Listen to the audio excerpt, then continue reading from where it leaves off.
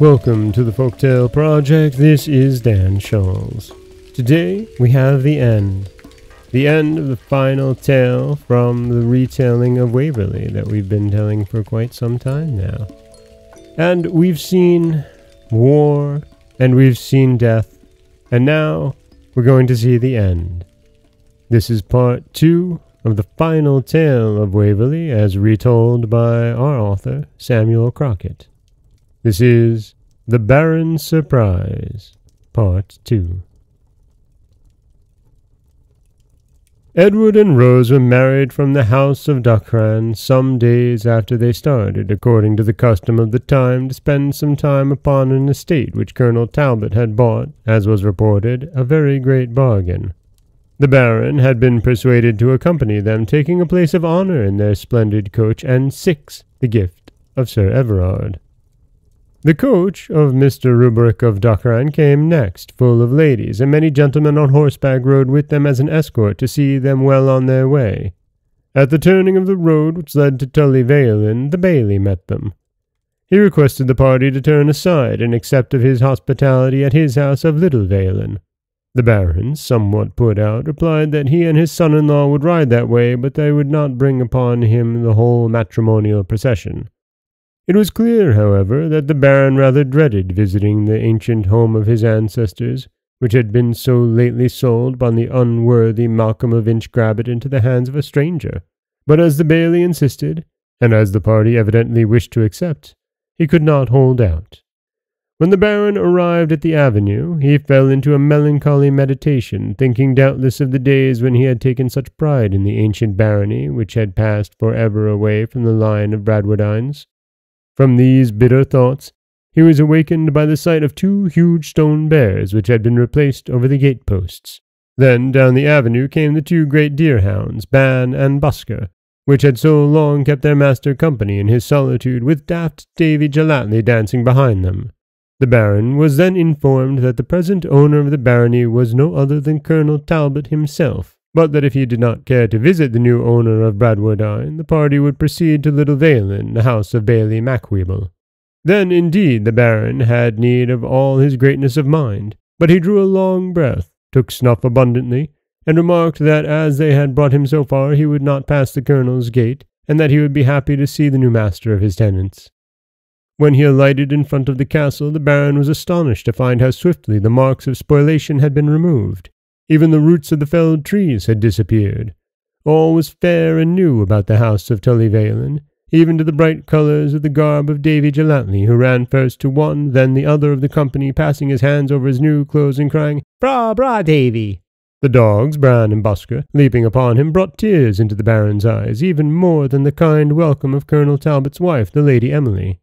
Still more astonishing appeared the changes in the so lately ruined courtyard. The burned stables had been rebuilt upon a newer and better plan.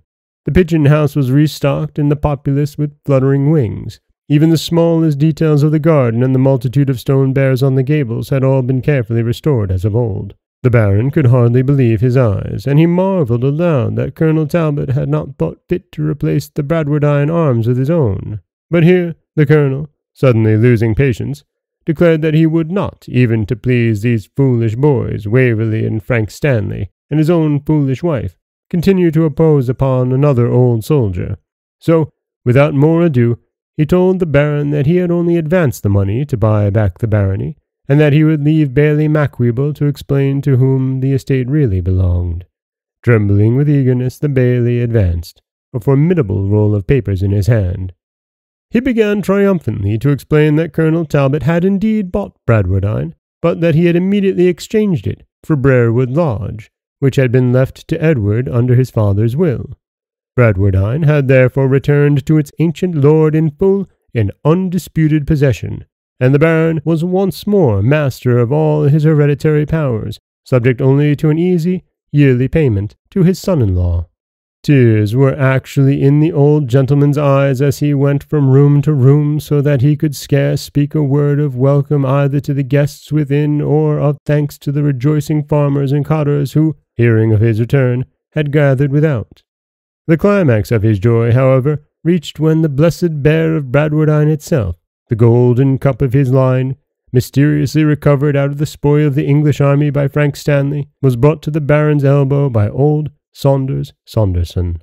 Truth to tell, the recovery of this heirloom afforded the old man almost as much pleasure as the regaining of his barony, and there is little doubt that a tear mingled with the wine as, holding the blessed bear in his hand, the Baron solemnly proposed the healths of the united families of Waverley Honour and Bradwardine. And that is it, the end of this story of Waverley, a tale that, you know, is so large in literature and which honestly I had never read before, and I, I enjoyed it. I enjoyed it a lot, and I do I do hope that you did as well. Next week, we'll be starting something new, and I'm not going to tell you. It's going to be a surprise. This is Dan Scholz for the Folktale Project. Don't forget that you can subscribe to the podcast on Apple Podcasts, Stitcher, Google Play, Overcast, anywhere you like to get your podcasts. You can follow us on Twitter at Folktale Project. You can find us on Otto Radio, TuneIn Radio, iHeartRadio, Spotify, anywhere you like to listen. And you can always head over to folktaleproject.com.